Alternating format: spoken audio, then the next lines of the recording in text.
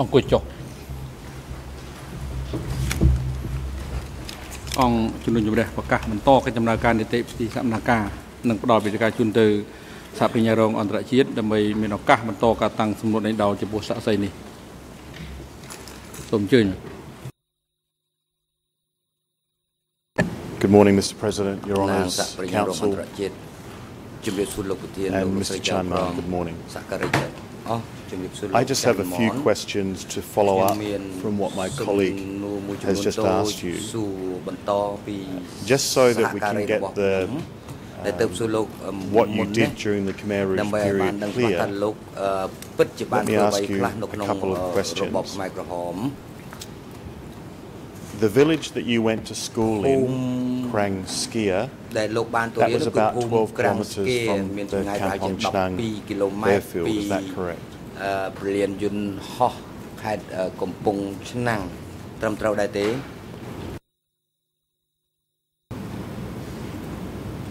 បាទត្រឹមត្រូវ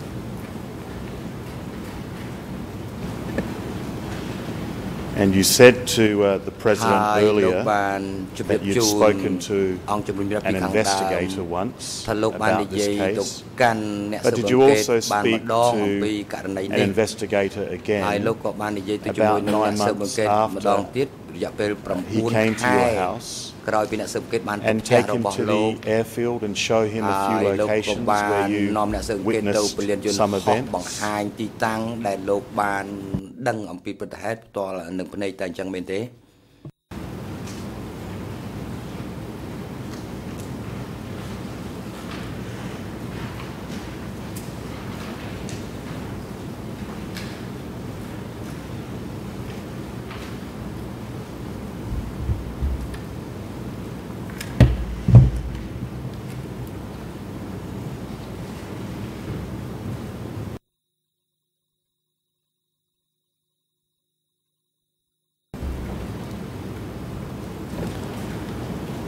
Did you hear that last មិន question? ស្ដាប់អត់បានមែន លោកសាក់សីស្ដាប់សំណួរចុងក្រោយរបស់ខ្ញុំបានទេ មិនស្ដាប់អត់ក៏អត់បាត់អត់បានទេមិនទៅ After you gave the statement to the បន្ទាប់ពីលោក investigator បានឆ្លើយ at your ជូនអ្នក house ស៊ើបអង្កេតនៅផ្ទះ about របស់ the លោក events at the អំ airfield, ពីព្រឹត្តិការណ៍ដែលកើត did you, ឡើងនៅព្រលា some ន months later, អឺយន្តហោះ take an investigator to the អឺរយៈ airfield ពេលជាច្រើនខែ and មួយ show ទៀត him some គឺលោក places បាន where you នាំ saw ស៊ើបអ្នកស៊ើបអង្កេតទៅ some ព្រលានយន្ត events ហោះដើម្បីបង្ occur ហាញ at the airfield? អំពីព្រឹត្តិការណ៍ដែលបានកើតឡើងនៅព្រលានយន្តហោះអញ្ចឹងមែនទេបាទបានគាត់ទៅហ្នឹងខ្ញុំជូនមកដល់ពលានយន្តហោះហ្នឹងខ្ញុំប្រាប់កន្លែងពី3កន្លែងហ្នឹងដែលគាត់សួរនាំហ្នឹងប្រាប់តាមដំណើរតែខ្ញុំឃើញ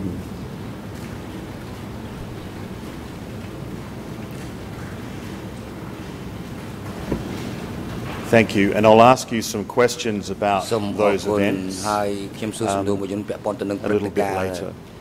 ទាំងនេះនៅពេលក្រោយនេះបន្តិច You were about 21 years of age លោក in មានអាយុប្រហែលជា 1975. 21ឆ្នាំនៅក្នុងឆ្នាំ Can you tell the court whether you were a 1975 member តើលោកអាចជម្រាបជូន of the អង្គជំនុំ Communist ជម្រះបាន Party of ទេ Kampuchea? ថាលោកជាសមាជិករបស់បកកុម្មុយនីសកម្ពុជាឬក៏អត់ទេនៅពេលនោះ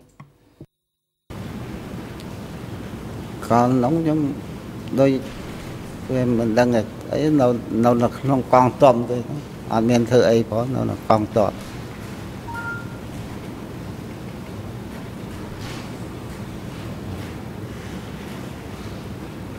អត់មាននៅក្នុងបកស្អីគេទេគាត់នៅនៅក្នុងកងទ័ពដែរគេឲ្យ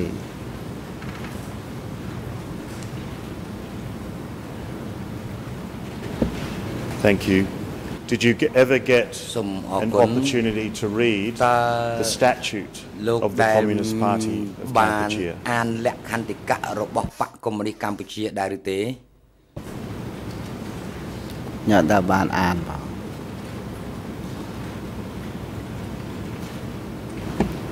Thank you. សូមអរគុណ You testified that លោក uh, បាន the ឆ្លើយ commander ថា of Div- មេ Division បញ្ជា 502 ការកងពល was, uh, Comrade Met 502គឺឈ្មោះសមមិត្ត and his មេ deputy was ហើយ a អនុប្រធាន person រ called របស់គាត់ LeVay. គឺឈ្មោះលវៃ Is that correct? ត្រឹមត្រូវដែរទេលោក បាទត្រឹមត្រូវ You said that uh, Comrade Met លោកបាន assigned you និយាយ to work ថា at the airfield. សមមិត្តមេតនឹងបាន Um, ចាត់ but, តាំង al- ឲ្យ but លោក in ទៅ your ធ្វើការ statement, នៅ you ប្រ said លាន that យន្តហោះ LeVay did. ប៉ុន្តែ Were they both នៅ together when ក្នុង you were- ចម្លើយ when រ you របស់ were លោកលោក assigned? ឆ្លើយថា Or- ល្វីទៅជាអ្នកចាត់តាំងលោក Who, was, who in fact assigned you to the airfield? តាមពិតទៅតើក្នុងចំណោមទាំងពីរអ្នកនេះអឺអ្នកណាជាអ្នកចាត់តាំងឲ្យលោកទៅធ្វើការនៅប្រលានយន្តហោះអាមុនដំបូងហ្នឹងបងល្វីហ្នឹងគាត់ប្រាប់ឲ្យខ្ញុំនាំកម្លាំងនាំអឺគណៈរដ្ឋភូចិនហ្នឹងទៅ ដល់ទៅពេលខ្ញុំទៅដល់កំពង់ឆ្នាំងហ្នឹងបានមេតហ្នឹងក៏ទៅតាមក្រោយបានគាត់បញ្ជាឲ្យយកកម្លាំងថែម5 6នាក់ហ្នឹងជួយទៀត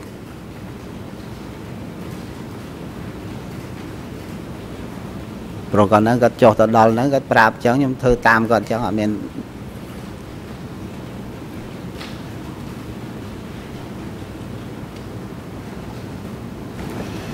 And how many times had you met? ហើយថាតើ Comrade Met លោកធ្លាប់បានជួបសមមិត្តមេតនឹងបានប្រហែលដងដែរជួបជួនកាលមួយអាទិត្យអីជួប2ដងមួយខែអញ្ចឹងទៅបាន3ដងអីចឹងទៅគាត់មិនទៅបានជួបទៅព្រោះខ្ញុំនៅឆ្ងាយគាត់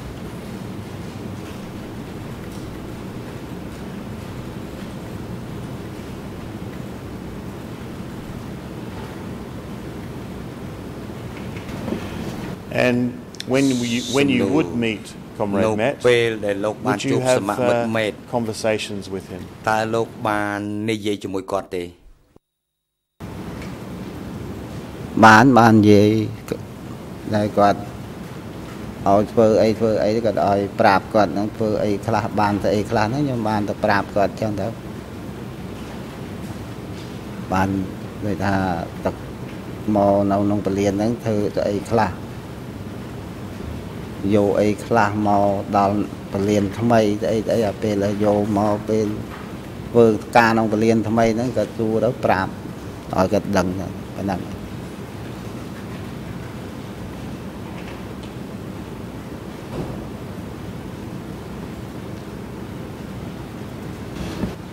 And what was your rank in the, តើលោកមាន uh, ឋានៈ the army? What was your position? Were ប៉ុណ្ you ណា a, ដែរលោកមានតួនាទីអ្វីដែរនៅក្នុង corporal ជួរកងទ័ព លោកជា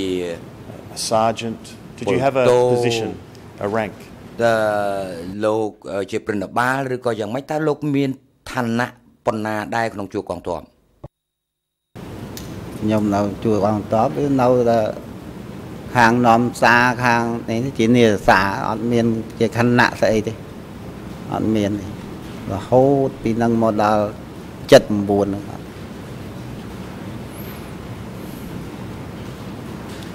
ជាអ្នកនាំសារគេដឹកនាំដូចថាគេឲ្យតាណាទៅហ្នឹងប្រើ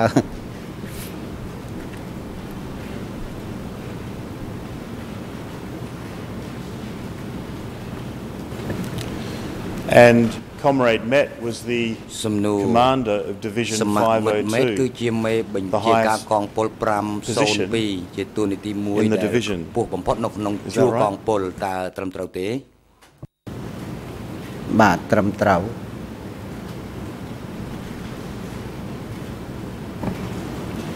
Did you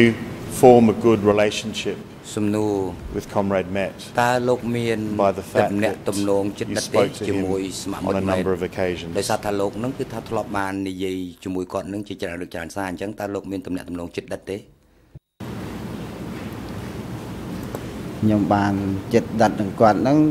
ដោយសារថា តាំងពីខ្ញុំតូចដល់ធំដែលនៅក្នុងជួរកងតបហ្នឹងឡើងឯងជួបគាត់ឡើងឯងជួបគាត់ហើយគាត់ស្គាល់ខ្ញុំច្បាស់ជាងគេរហូតមកបានមកដល់ពលានថ្មីហ្នឹងបានគាត់នៅបានជួបគាត់ប្រើច្រើន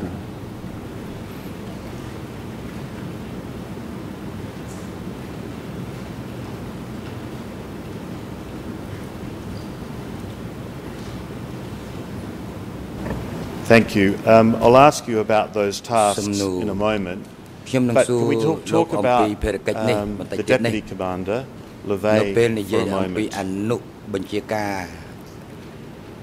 ឈ្មោះល្វី Did you you worked for LeVay uh, before តើ 1975? លោកធ្លាប់បានធ្វើការ I think ជាមួយ for លោក about ល្វី three ដែរទៅ years, មុន you said. អឺលោកបាននិយាយថាធ្លាប់ And you've ធ្វើការ also ជាមួយលោកល្វី3ឆ្នាំមុន Said ឆ្នាំ that you've worked for 75 LeVay after ហើយក្រោយ1975ឆ្នាំ at the airfield. 1975ក៏បានធ្វើការជាមួយល្វីទៀតនៅព Did លានយន្ត you ហោះ have a good relationship with LeVay? តើលោកមានទំនាក់ទំនងល្អជាមួយល្វីដែរឬទេពីមុនអត់អីទេគាត់ប្រើតាណាតែតែប្រើធ្វើអីធ្វើអីចឹងទៅគាត់ប្រើទៅដល់ក្រោយមកទៀតវាចេះតែឆ្ងាយពីគ្នាមកគាត់ឆ្ងាយពីគាត់ចឹងទៅមានអ្នកផ្សេងចេះតែមក ប្រាប់ទៅថាអូល្វីបងល្វីប្រើតានេះបងល្វីប្រើតានោះហើយទៅទៅកន្លែងនេះហើយត្រូវទៅកន្លែងនោះទៅទៅតាមគេមកប្រាប់ហ្នឹងវាមិនបានទៅដល់ជួបគាត់ផ្ទាល់ទេក្រោយមក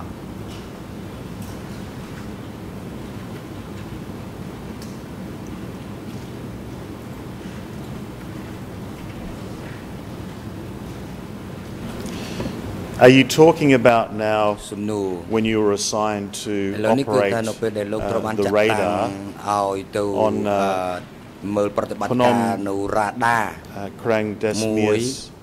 នៅភ្នំ Mountain ក្រាំង near the airfield? ដីមាស Is that what Chit you're Brilliant saying? Yun Ho no. Are you saying that you were away because you were working in that អឺ mountain? គឺដោយលោកអឺចេញពីពលានយន្តហោះគឺសារដោយសារតែលោកទៅធ្វើការនៅភ្នំនេះឯងអញ្ចឹងមែនទេ បាទតែក្រោយមកដែលគេឲ្យខ្ញុំបើកឡាន ដឹកសម្ភារៈហ្នឹងឡើងភ្នំព្រោះអត់មានណាហ៊ានឡើងទេមុនដំបូងមានតែខ្ញុំឡើងបើកឡើងដឹកសម្ភារៈរ៉ាដាហ្នឹងឡើងទៅក៏គេឲ្យនៅហ្នឹងនៅជាមួយគេនឹងសិនអត់មានឲ្យតាណាទេ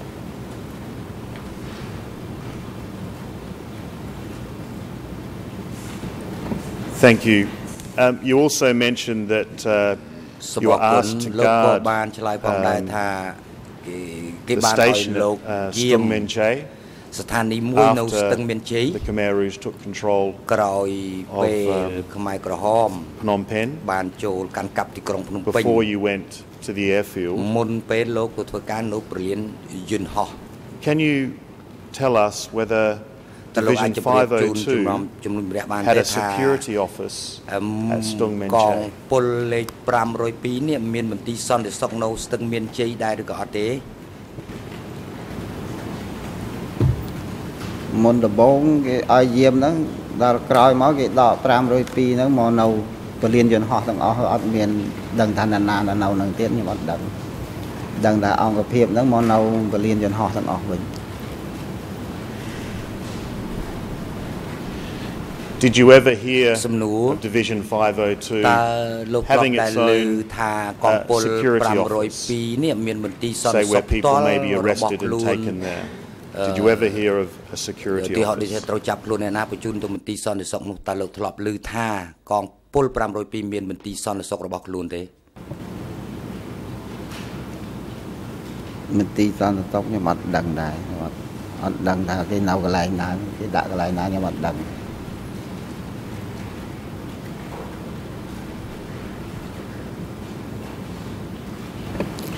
Thank សំ you. ណួរ You also សូមអរ mentioned គុណលោកក៏ that បាននិយាយផងដែរថា when you went នៅ to ពេលដែលលោក the airfield, ទៅប្រលាន that យន្តហោះ uh, you met a person called Uncle Song. Who លោក is Uncle Song? លោកបានជួបអឺមនុស្សម្នាក់ឈ្មោះពូសោមតើពូសោមជាអ្នកណា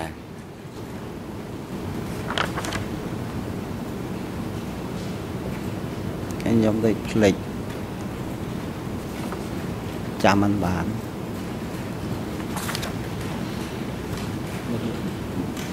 Can you tell us who the uh, the deputy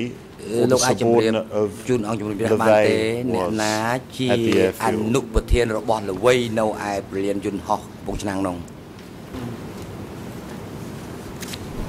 នៅនោះមានតែធានទីធានទីហ្នឹងឈ្មោះវាឈ្មោះយេង តែដឹងស្អីយេងខ្ញុំអត់ចាំរែងតកូលគេទៅយូរហើយតែដឹងថាយាយហ្នឹងប្រធានទីក្រមជាប់ដោយតាមមកពីបងលវ័យបងអីមកគេនៅក្រមហ្នឹងថាប្រធានទីហ្នឹងគេចាត់ចែងអីអីទាំងអស់ហ្នឹងនៅលើគេ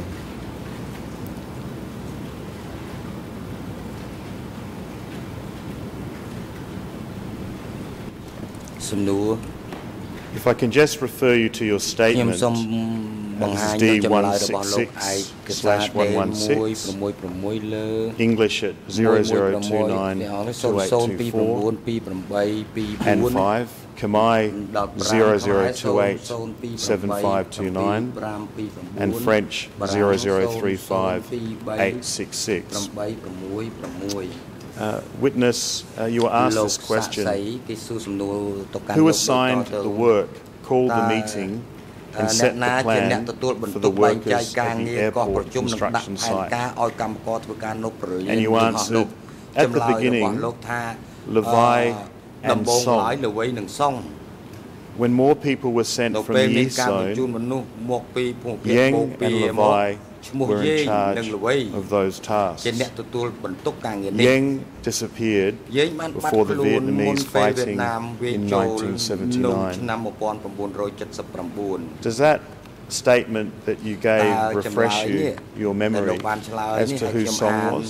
តើលោកអាចចាំបានទេតើសុងនេះជាអ្នកណា សុងហ្នឹងនៅអ្នកភូមិនៅនឹងដែរនៅអឺតែគាត់ ធ្វើតបនឹងដែរធ្វើយោធានៅ502ហ្នឹងដែរតែគាត់បានស្លាប់បាទគាត់អ្នកកញ្ចែកទេសរៀនពីនេះមកជាមួយអឺចិន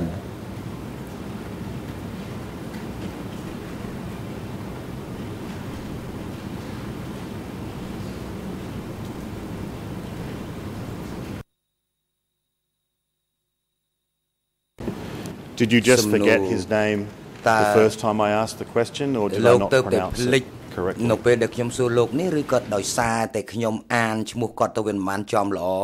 ឬក៏យ៉ាងណាអត់ទេខ្ញុំសុងហ្នឹងខ្ញុំខ្ញុំចាំចាំថាមនុស្សឈ្មោះសុងហ្នឹងគឺនៅអ្នកស្រុកនៅនឹងដែរនៅជាប់ភូមិឃុំខ្ញុំដែរតែគាត់ធ្វើការនឹងដែរតែនៅខាងវាស់វែងខាងស្ទង់ខាងអី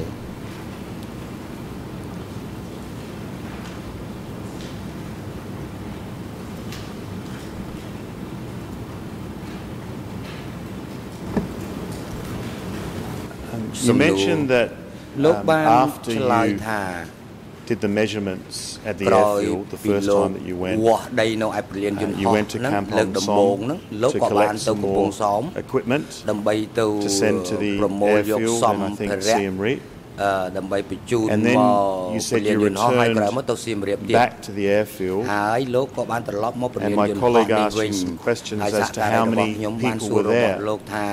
After you តើ did the measurement អឺក្រោយពីលោក and វាស់ came វែ back. ងដីនឹងហើយហ្នឹងអឺហើយត្រឡប់មកវិញហ្នឹងតើមានមនុស្សប្រ You មាណ said អ្នកនៅ there ទីនោះ were many hats when you looked across the airfield អឺពេលដែលលោក Can you explain that a លោក bit ឃើញ more? មនុស្សច្រើនណាស់ Please, សូម about លោក how បញ្ many យល់ people បន្ were តិចមើល there ថា when តើ you came back នៅពេល for ដែល the លោក second អឺ time? ត្រឡប់មកពលានយន្តហោះវិញជាលើកទី2លោកឃើញមានមនុស្សប្រហែលជាប៉ុន្មានអ្នកអូឃើញច្រើនបើនិយាយទៅហៅថា1000ណា ប្រូឃើញពេញអាក្នុង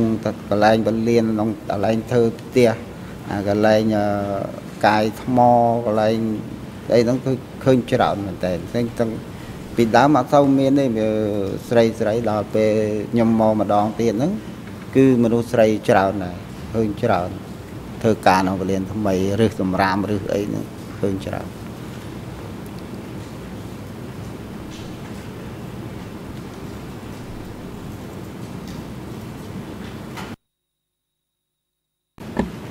សំណួរ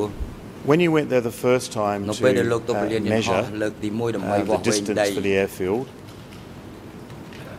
um,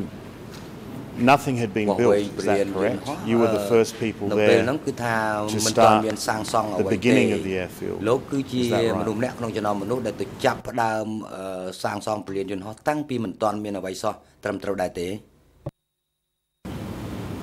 បាទ ត្រឹមត្រូវទៅគេឲ្យខ្ញុំនាំខាងវិស្វករហ្នឹងមកខ្ញុំមកមុនគេជាមួយអឺមិត្តភ័ក្តិខ្លះដែលគេខាងវាស់វែងដែលនៅមួយវិស្វករហ្នឹងគេមកដែរតែខ្ញុំក៏មិនមាននីតិថានាំគេមកគាត់ណាដឹកនាំដូចថានាំផ្លូវគេមកមើលក្នុងពលានហ្នឹងឯងធ្វើនៅភូមិអីភូមិអីហ្នឹងអានេះស្គាល់តែតែប៉ុណ្ណឹង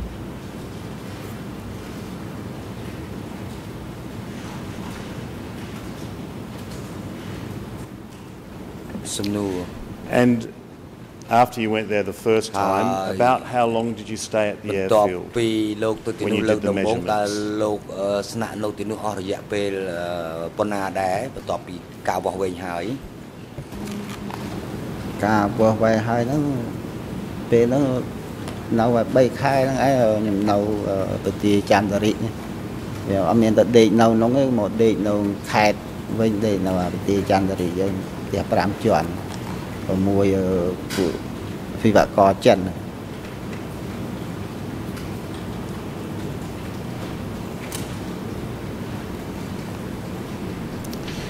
And where was that? Was that at uh, តើ Kampong Som? នៅទីណាដែរប្រទេសហ្នឹងនៅលោកចង់និយាយនៅកំពង់សោមឬក៏នៅនេះទីណាដែរហ្នឹងនៅកំពង់ឆ្នាំងប្រទាយចន្ទរិកគេហៅប្រទាយចន្ទរិក ហើយផ្ទះ5ជាន់ចិត្តពលានអឺកំពង់ឆ្នាំងពលានចាស់ពីដើម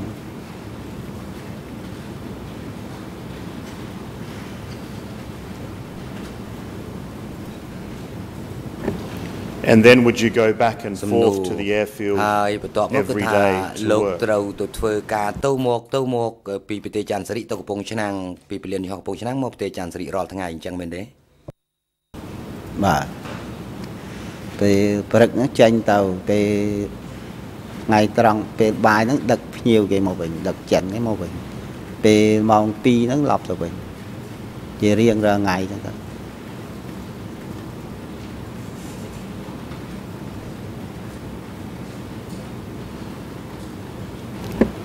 And that was for សំណួរ about three months, is ហើ that យ correct? ការដែលធ្វើដំណើរទៅមកទៅមកនេះគឺ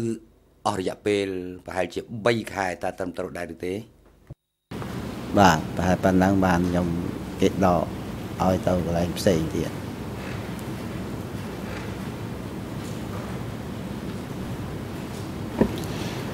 You said in your សំណួ statement រ that you were ក្នុង transferred ចម្លើយ to របស់លោកលោកឆ្លើយ collect, ថា collect equipment គេ at បាន Kampong បញ្ Som. ជូនលោកឲ្យទៅប្រ How មូ long ល was that សម្ភារៈ for? នៅកំពង់សោមតើលោកទៅប្រមូលសម្ភារៈនៅកំពង់សោមអស់រយៈពេលប៉ុន្មានប៉ុណ្ណាដែរมันចាំ ពេលវេលាដែលទៅជូនហ្នឹងវាចាំមិនបានទេតែទៅដូចថាទៅដល់អញ្ចឹងទៅមកទាំងយប់វិញក៏មានដែរមកយប់ហ្នឹងដេកមកយប់អញ្ចឹងទៅឡប់ទៅវិញទៅជូនទៀតទៅវាមិនទៀងថាវានឹងប្រហែលថ្ងៃប្រហែលខែវាអត់ទៀងទេវាទៅមក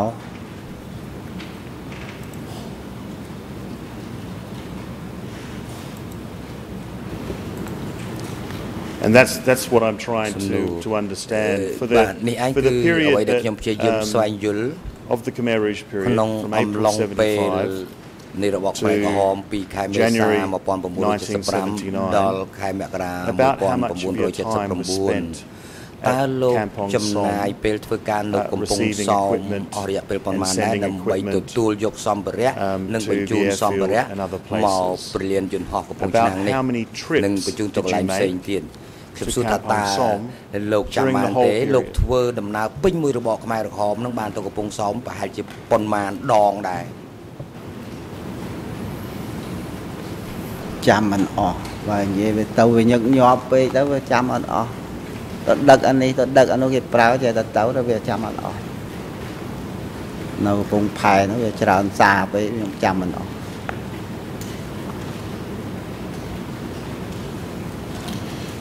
And it- is it, is it fair to say that they តើ were ត្រឹមត្រូវទេបើខ្ញុំ short និយាយ trips? ថាមា You ន would go down to Kampong ពេលខ្លះលោក Som ទៅកំពង់សោមនឹង receive រ equipment, យៈពេលខ្លីទេ vehicles, ទទួលសម្ material, ភារៈមានទទួល and ឡា then ន go straight back ឧបករណ៍ផ្សេងផ្សេង to ទៀត where you were ហើយ working, if it was ក៏ the ត្រឡប់មក airfield កន្លែង or another លោកធ្វើ place. ការវិញមកពលានយន្តហោះកំពង់ឆ្នាំងឬក៏ទៅកន្លែងផ្សេងអញ្ចឹងមែនឬមកវិញមកនៅនឹងអឺកំពង់ឆ្នាំងវិញហ្នឹងក៏មិននៅណាពលាន ថ្មីហ្នឹងណាគេគេឲ្យដេកនៅឯខេត្តនេះណានៅឯកន្លែងពលាពទាចន្ទរិផ្ទះ5ជាន់ជាមួយអឺពួកវិស្វករចិនហ្នឹងឯងព្រឹកឡើងបានទៅងាកឡើងបានមកទៅគេដឹកទៅមកទៅមកចឹង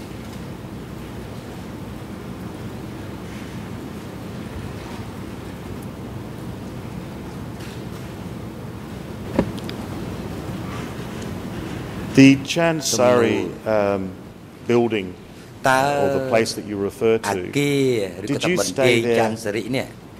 the whole time លោកស្នាក់ that នៅ you worked at the ទីនោះ airfield? Did you រ always ហូត live ឬនៅពេលដែលលោកធ្វើ in ការ those នៅពលាន barracks យន្តហោះ and then go to the airfield គឺលោក each ស្នាក់នៅ day? ប្រទេសច័ន្ទសិរិ Or ហើ did you យ ever ទៅ live ធ្វើការនៅ at ព the លានយន្តហោះកំពង់ airfield ឆ្នាំងរាល់ itself? ថ្ងៃឬក៏លោកស្នាក់នៅឯពលានយន្តហោះកំពង់ឆ្នាំងនឹងផ្ទាល់តែម្ដង ខ្ញុំថ្នាក់នៅក្នុងប្រទេសចន្ទរីនេះនៅឯ ផ្ទះ5ជាន់ប្រទេសចន្ទរីហ្នឹង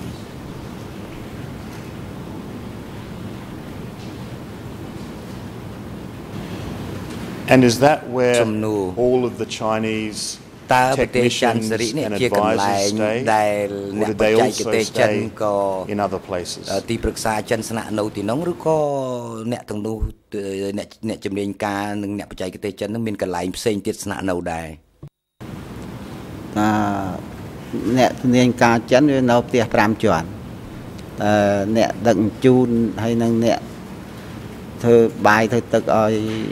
ចិនហ្នឹងគឺនៅប្រទេសចន្ទរិហើយអ្នកដែលធ្វើការដូចទៅវាស់វែងស្អីស្អីហ្នឹងនៅប្រទេសចន្ទរិខ្មែរហ្នឹងនៅចន្ទរិ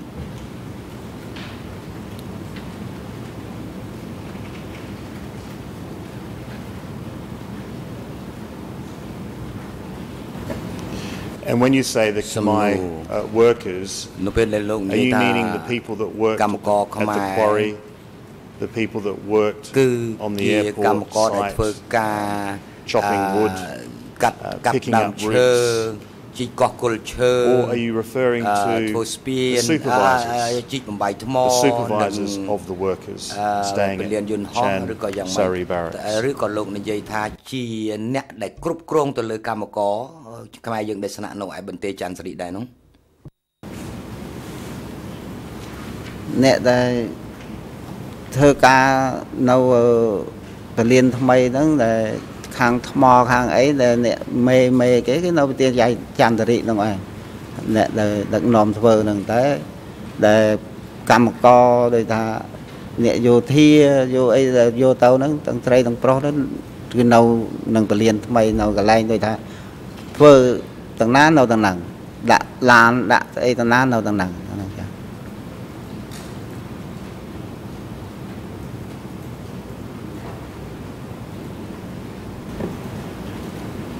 Thank you. Uh, perhaps if I can សូមអរគុណ summarise a little បើ in សិនជា relation ខ្ញុំ to សង្ខេប uh, what ឲ្យ you លោកស្ដាប់បន្តិច testified ពាក់ព័ន្ធទៅ to នឹងអ្វីដែលលោកបានឆ្លើ and យ what you have provided in your statement ហើយនឹងអ្វី about the ដែលលោក Chinese បានឆ្លើយនៅក្នុង assistance, ចំ um, to កំណត់ build ហេតុរបស់លោកអំ the ពី Kampong Chnang អ្នក airfield. បច្ចេកទេសចិនដែលមកជួយសាង it ស fair ង់ to ពលានយន្ត say ហោះកំពង់ឆ្នាំង that they provided តើត្រឹមត្រូវ vehicles, តែទេដែលថា uh, jeeps, តែចិនហ្នឹងគឺថាបានផ្ដល់ឡាន បានផ្ដល់រថយន្ត Steamrollers Jeep um, other equipment, ឧបករណ៍ blasting ផ្សេងផ្សេង equipment, ទៀតឧបករណ៍ um, បំផ្ទុះថ្ម technicians, advisors, អ្នកបច្ចេកទេសទីប្រឹក្សា rock drillers, generators, អឺមានផ្ដល់ទាំងពីម៉ាស៊ីនភ្លើង materials like steel, ឧបករណ៍ផ្សេង cement, ផ្សេងទៀតដូចជាដែក explosives សម្ភារៈផ្សេងផ្សេងដែកស៊ីម៉ង Throughout ឬក៏គ្រឿងបំផ្ទុះ the period that the airfield was នៅ built. ក្នុងអំឡុងពេលដែលគេសាងសង់ Did the អឺ Chinese ពលានយន្តហោះនោះ provide អឺវិញមួយ that អំឡុង sort ពេល of តែម្ដង assistance តើ to build? ចិននេះបានផ្ដល់សម្ភារៈនិងឧបករណ៍ដូចដែលខ្ញុំបានរៀបរាប់នេះដែរឬក៏យ៉ាងណាបាទប្រូរបស់ហ្នឹងរបស់ចិនទាំងអស់ទាំងអស់ទាំងឡានទាំងបើនិយាយទាំងដែកទាំងស្អីទាំងអស់វាសពមុខទាំងអស់អត់មាន យកពីណាមកយកទៅចិនទាំងអស់ហ្នឹងចិនគេទៅនួយមកទៅធ្វើអាហ្នឹងហើយបុគ្គលិកចិនទាំងអស់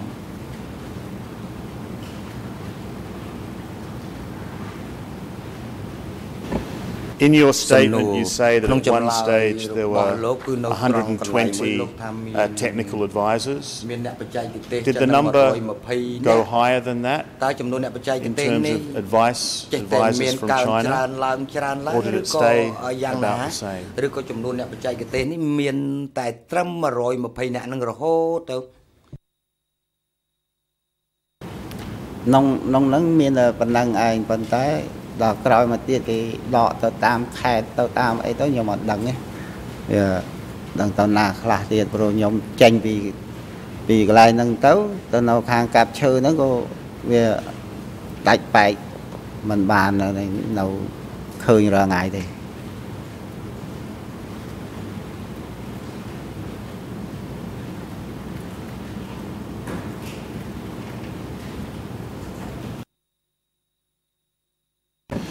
Thank you, but when you went to សំណួរ cut ប្រសំអរ trees, គុណនៅពេល you ដែល took លោ the កទៅ labourers from the កាត់ airfield ដើមឈើ that were គឺ living យក there. កម្លាំងពលករចេញពីពលាន Is that យន្ត correct? ហោះដែលរស់នៅពលានយន្តហោះយកទៅកាប់ឈើត្រឹមត្រូវដែរទេ បាទហើយកម្លាំងហ្នឹងគឺកម្លាំងដែលគេដកមកពីបុព្វាសិតតែអ្នកបុព្វាយកទៅកាប់ឈើ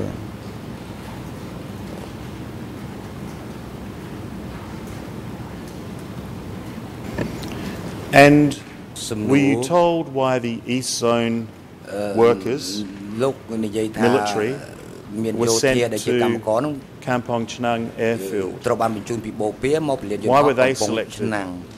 The ហេតុអ្ military វី from the East បាន Zone. ជាគេយកយោធាមកពីភូមិភាគបូព៌ាមកឲ្យសាងសង់ពលានយន្តហោះកំពង់ឆ្នាំង អាហ្នឹងខ្ញុំអត់ដឹងដែរតែថាបើឃើញគេយកមកហ្នឹងខ្ញុំអត់ដឹងហើយគេឲ្យខ្ញុំនាំទៅកាប់ឈើខ្ញុំអាហ្នឹងខ្ញុំអត់ដឹងហ្នឹងគេយកមកពីហ្នឹងមកដល់យ៉ាងធ្វើមិនដាច់ដូចមិនដាច់ក៏ខ្ញុំអត់ដឹងដែរដឹងថាគេយកមកតែឲ្យទៅនាំទៅកាប់ឈើខ្ញុំនាំទៅកាប់ឈើទៅគេឲ្យតាមវិរៈប្រមាណទៅទៅប៉ុណ្ណឹងអត់ដឹង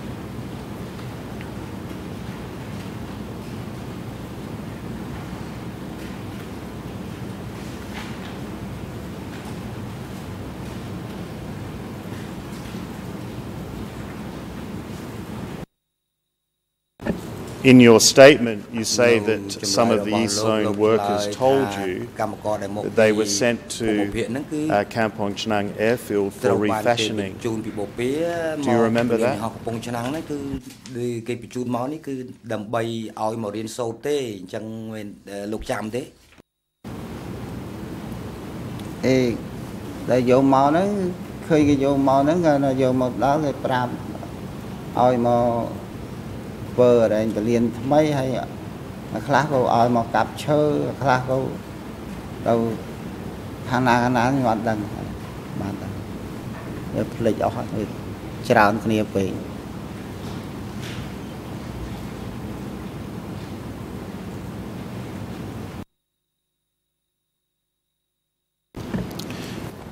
Perhaps if I can Some mention uh, what you said in your statement at um, D166 slash 116 2823 00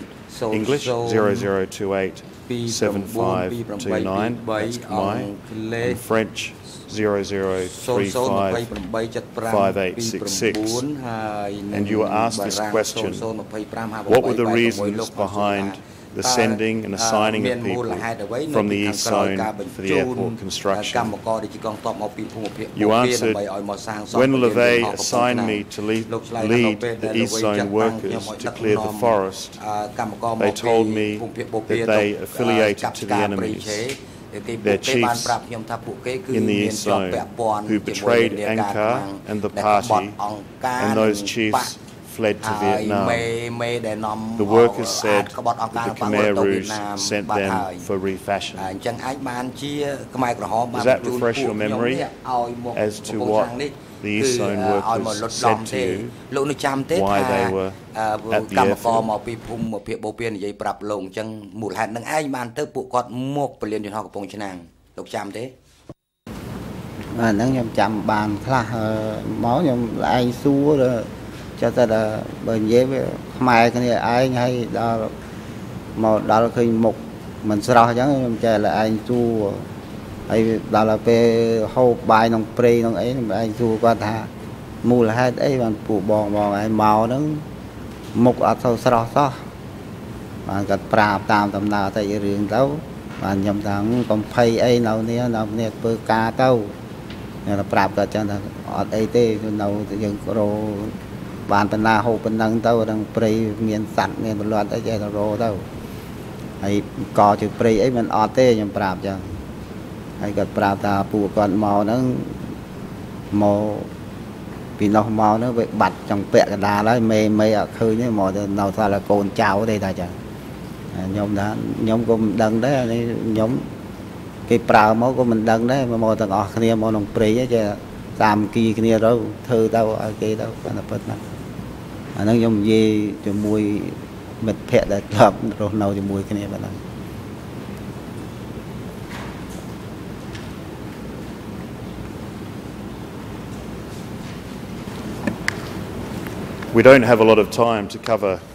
a long period, so let me uh, put a statement that you gave uh, to the investigators about the um, conditions at the work site for the workers គឺស្ថានភាពរបស់កម្មករនៅការដ្ឋាន about arrests that occurred at the work site and then I'll ask you some questions about that ខ្ញុំនឹងសួរសំណួរលោកមួយចំនួនទាក់ទងទៅនឹងចំណុចទាំង I'm referring to D166/116 English 0029 2824 Khmer 0028 7528 and 9 and French 0035 5865 5. This was the question that you were asked. Most of the witnesses we interviewed said that many people were sick, died, and taken for killing. And they said that they saw people being tied and trucked away when they worked at the construction site. Please explain your accounts. And you answered, those were the true stories. The arrests were made and the people were being tied every day. I personally witnessed those events. When a list of names of, of workers was forwarded, one person came to the construction site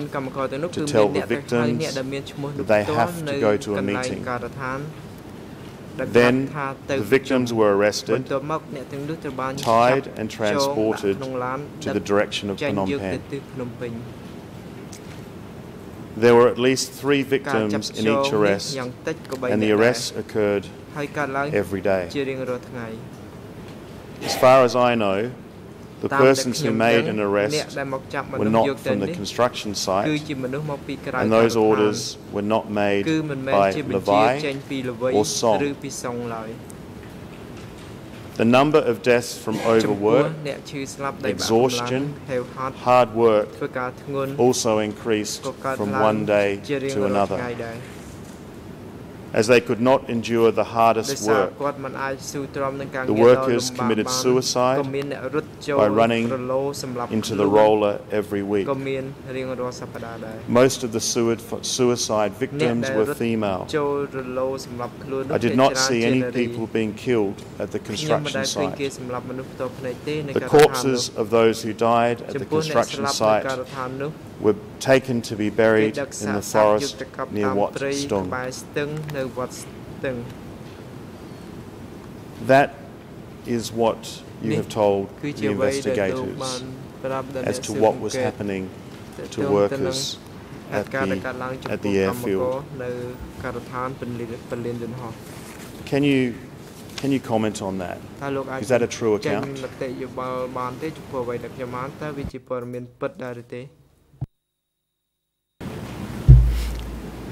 យើបើនេះនៅវាឃើញជាក់ស្ដែងហ្នឹងវាឃើញដឹកអញ្ចឹងដែរឃើញយកទៅហ្នឹងវាណាយប់ដូចថាថ្ងៃងាយឡើងហ្នឹងលឺសូរទៅវាមិនដែលដឹកថ្ងៃទេដឹកយប់គ្រាន់តែយប់ហើយកន្លែងខ្ញុំនៅចិត្តហ្នឹងវាចេះតែលឺសូររហូតដែរនាទីចុងបំផុតហ្នឹង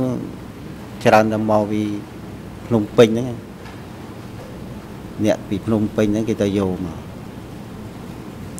គេទៅយកពីនឹងមកគេស្ដាប់សភាពការបានហ្នឹងទៅហើយគេទៅយកទៅវាបន្តបន្ទាប់គ្នាទៅនឹងណាជាណីហើយពេលហ្នឹងអត់មាននេះទេម្នាក់ម្នាក់យករួចតែខ្លួនម្នាក់ម្នាក់ហ្នឹងឯង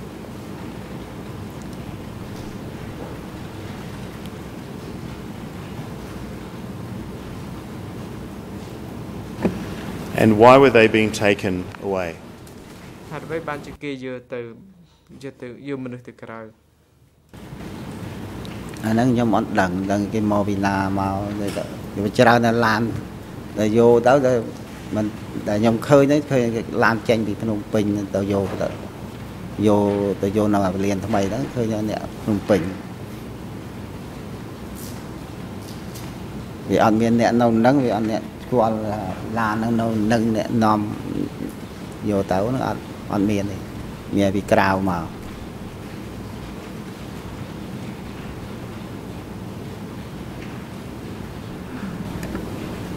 You were taken away for a time. You were arrested, isn't that correct? ក្រៅហើយគេចាប់ខ្លួនលោកនៅពេលនោះតើអញ្ចឹងមែនទេ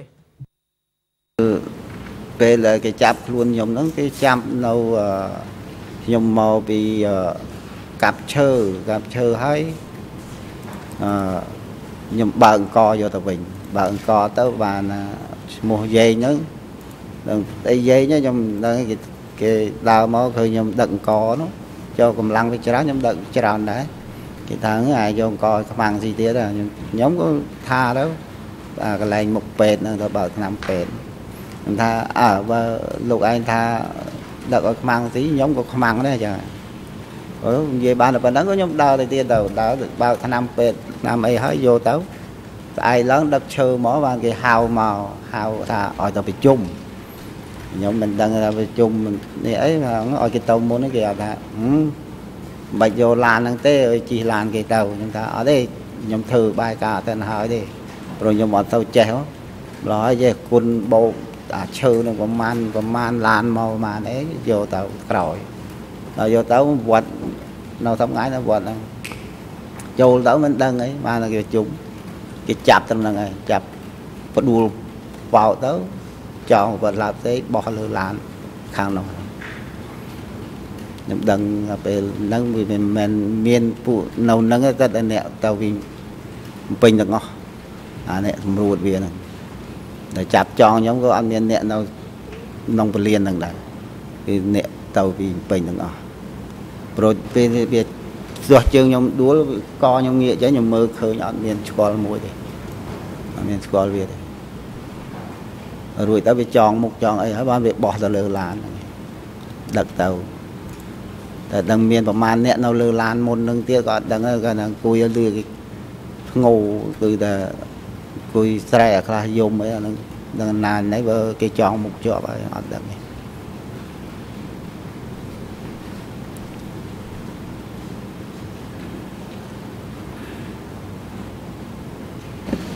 You mentioned in your statement that uh, people came with lists of names uh, and called people out and they were taken away. Did you see that occurring? Did you see those names being called out? and workers being taken away?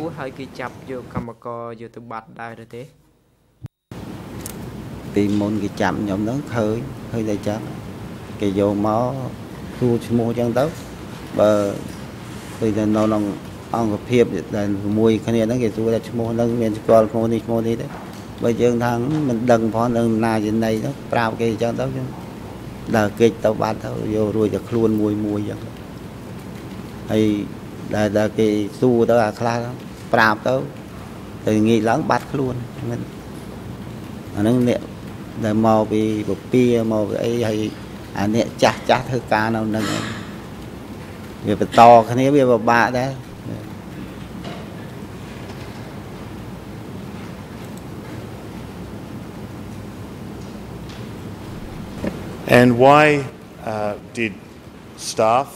supervisors from Kampong Chhnang airfield, why did they allow these people coming in from outside to take their workers away?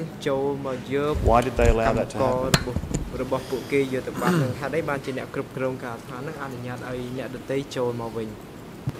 សាស្ត្រីមកតន់ឆ្លើយតបសូមអញ្ជើញលោកមេធាវីបេតកូពេ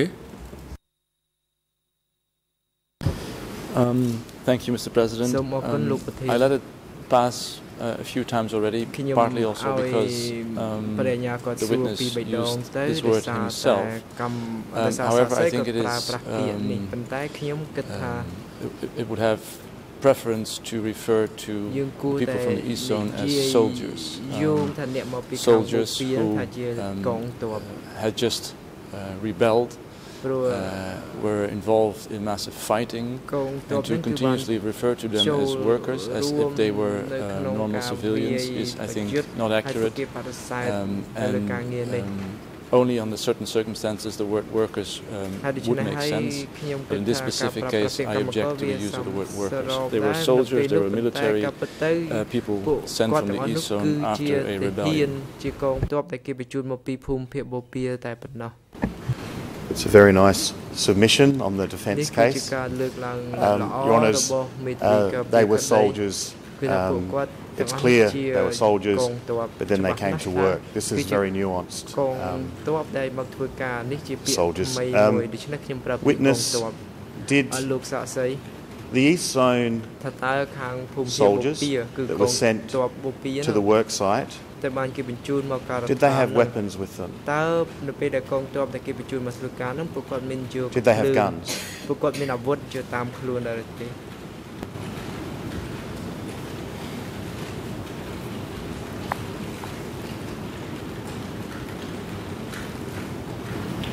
អត់មានទេគេគេដឹកមកគឺគេមិនអោយយកអាវុធចូលមកអត់មានកងទ័ពមែនតែតែមកធ្វើនៅពលានថ្មីគឺអត់មានអាវុធមកគេដោះអស់ ដកអាវុធចេញទៅដាក់អ្នកឯងមកដូចថាគេទៅយកប្រមាណឡានប្រមាណរយអញ្ចឹងប្រមាណអង្គភាពប្រមាណកងពលអញ្ចឹងយកមកអត់មានអាវុធទាំងអស់អត់មានមានតែខោអាវហើយរឹងហ្នឹង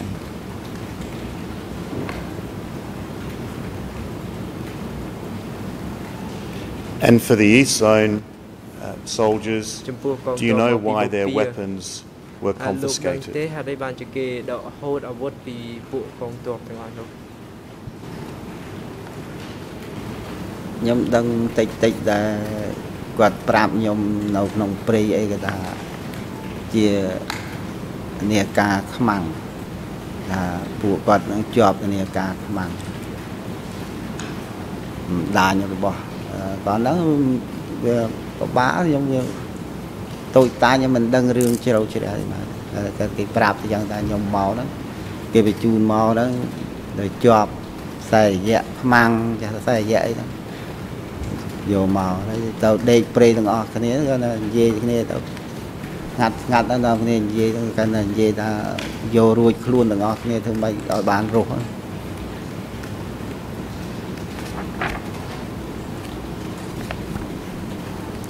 Thank you. I would like to um, talk a bit about some of these arrests. Uh,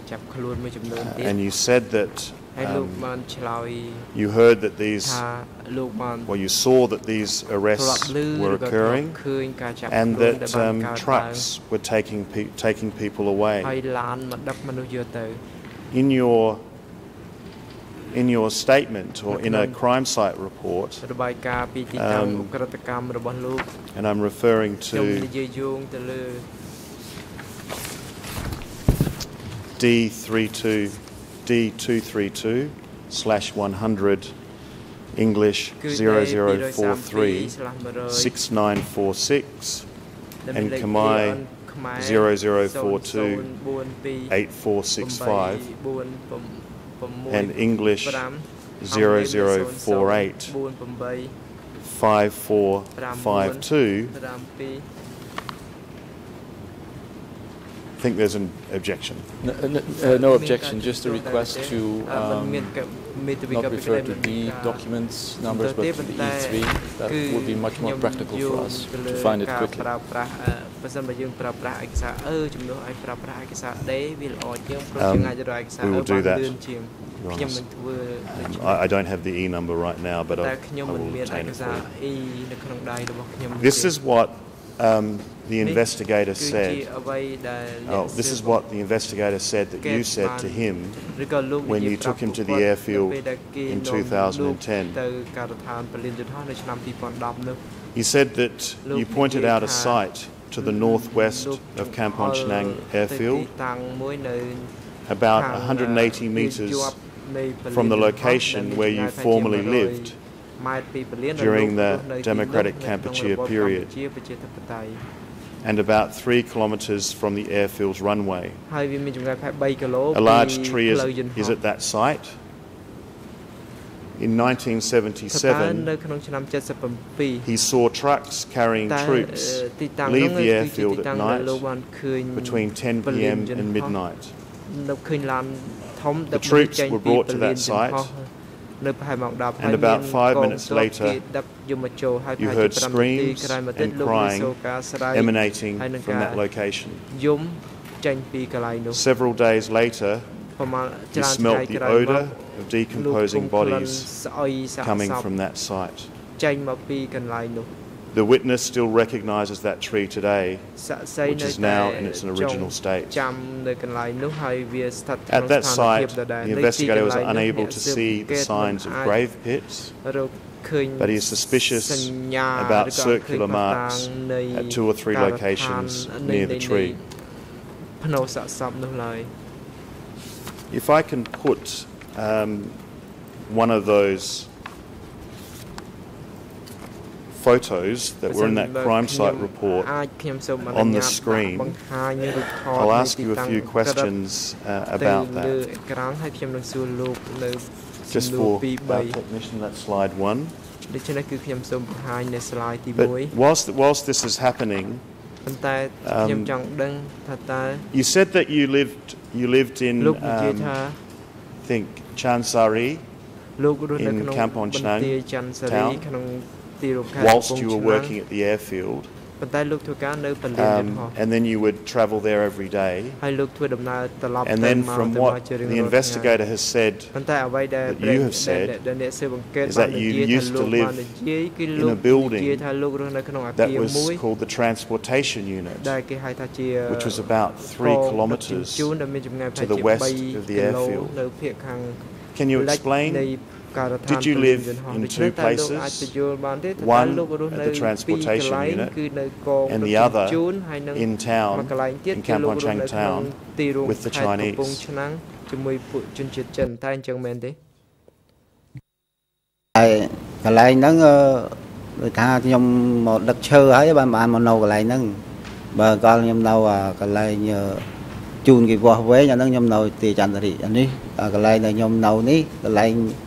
ដឹកឈើមកតម្លាក់មកមកដាក់កន្លែងអានេះរោងចក្ររោង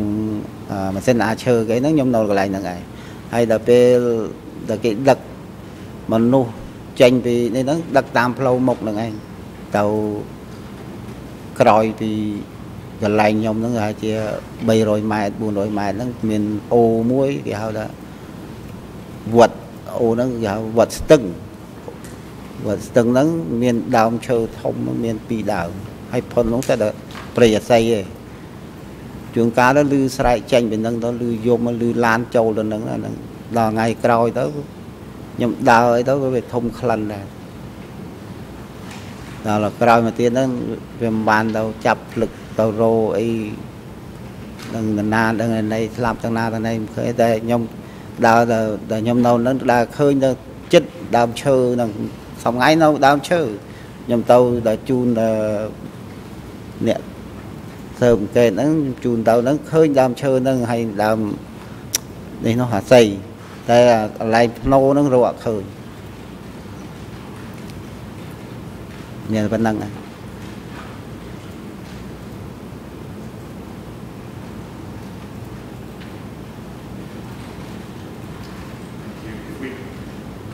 If we can look at um, D322 slash 100, um, ERN 0043 6952, Khmer 0042 8469 and French 00455 457 at picture 4 on the screen. Can you just explain what you see in that picture? បញ្យល់ថាតើលោកឃើញអ្វីនៅក្នុងរូបភាពទី4នោះ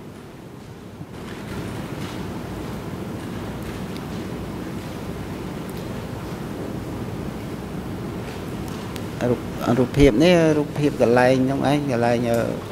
Sorry first កន្លែងពីក្រោយកន្លែងខ្ញុំរស់នៅដែលដឹកឈើមក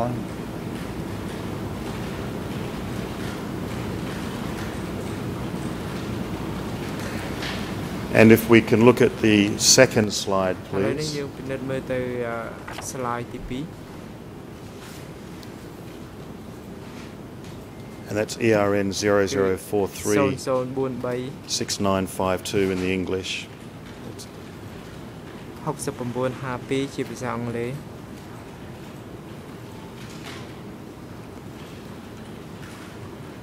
Can you explain uh, what you are doing in this photograph? What you are pointing to? ខ្ញុំចង្អុលទៅរត់នោះដើមឈើធំមួយហ្នឹងដែលចំណាំតែលឺស្រែកលឺអីហ្នឹងកន្លែងដើមឈើធំហ្នឹងឯងមើលទៅពីកន្លែងខ្ញុំហ្នឹងដើមឈើធំខ្ញុំនឹងអល់ចំទៅហ្នឹងហ្នឹងមានព្រៃអស័យ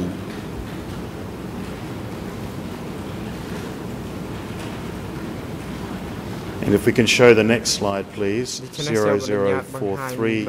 6951. Uh, English is the photo. គឺជារូបថតមួយ And uh, Mr President I would ask that the photos stay on the screen if possible ញ្ញាតបង្ហាញរូបថតនឹងនៅលើអេក្រង់ទូរទស្សន៍សូមលោកប្រធាន flashing up then flashing off គឺថាសូមអនុញ្ញាតបង្ហាញឲ្យបានយូរបន្តិចបាទអង្គជំនះអនុញ្ញាត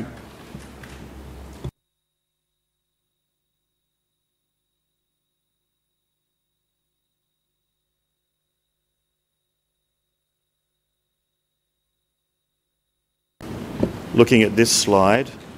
what's it, what are you showing us in this photo? ក្នុងរូបថតនេះលោកកំពុងតែច្អល់បង្ហាញអំពីអ្វីដែររូបថតដែល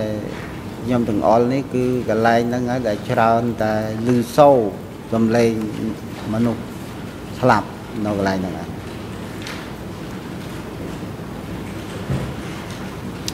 And if we can show the last slide, which is English 0043 6951, if you can tell us what you see in this photo that will come up shortly. ជួយបង្ជាក់ផងតើលោកឃើញអ្វីនៅក្នុងរូបថតនេះនៅក្បែរដើមឈើធំហ្នឹងព្រោះខ្ញុំទៅថ្ងៃហ្នឹងក៏ទៅមួយអស់លោកដែល ចង់ដឹងហ្នឹងខ្ញុំទៅប្រាប់ហ្នឹងមានម្ដុំមកហ្នឹងឯងព្រោះឃើញតែដៅសាកតប់តែពីដើមឥឡូវទៅវាប្រែคล้ายជាវាលរហូតឋានអស់ទៅហើយនៅទាំងណាមិនមិនដឹងទេថាឃើញតែដៅចាស់ចាស់ហ្នឹងតែពីសម័យនោះគឺកន្លែងនោះឯងដែលលឺសូហើយដែលធំក្លិនធំអីហ្នឹងកន្លែងហ្នឹងមិនទៅមានណាដើរទេព្រោះកន្លែងហ្នឹងវាសឹងថារលយប់ ដែលគេដឹកជូនទៅលឺសូបើខ្ញុំនៅក៏លឺទៅបើខ្ញុំអត់នៅទៅទៅព្រៃបាត់ទៅកាប់ឈើឆ្ងាយឆ្ងាយហ្នឹងអត់ដឹងដែរដល់មកវិញលឺធំតែក្លិនធំអីចឹង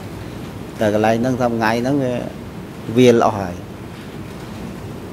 តែខ្ញុំចំណាំបានដើមឈើហ្នឹងនៅដើមឈើហើយព្រៃអាស័យតាមមាត់អូន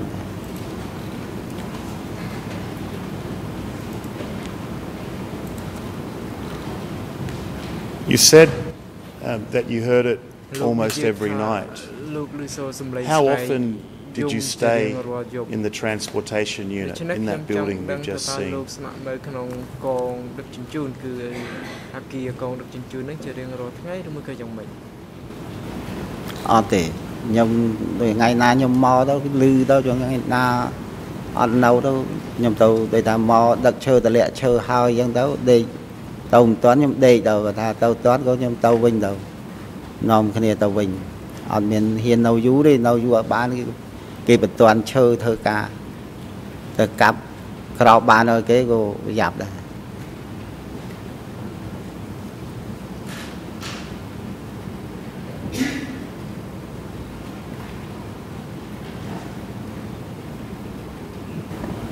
And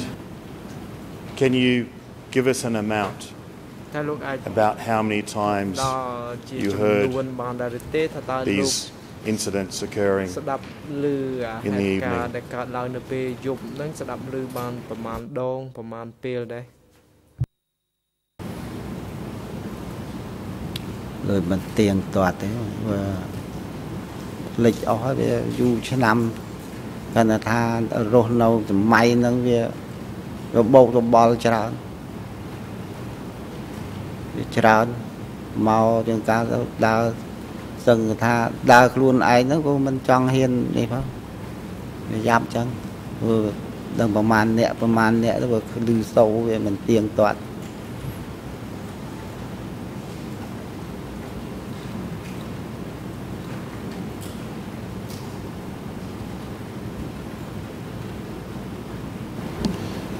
Thank you. Um, Mr. President, I have about two or three more minutes on this topic. Um, I